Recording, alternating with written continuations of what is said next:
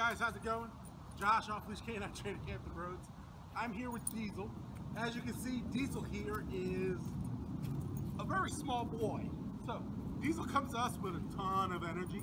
He's not like your typical Dane where he's really kind of shy and nervous about things. He's actually really rambunctious, has a ton, ton of energy. Uh, at home, he is the definition of a bull in a china shop.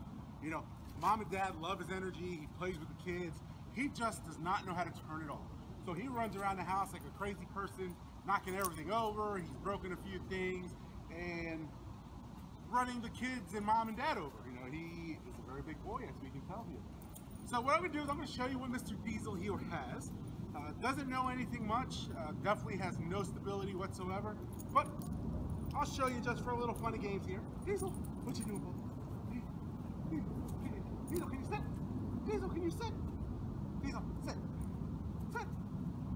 Diesel, sit. Oh, there you go, good boy. There you go, that's a good boy. So, I mean, this just shows you how big he is. Uh, I'm six foot even.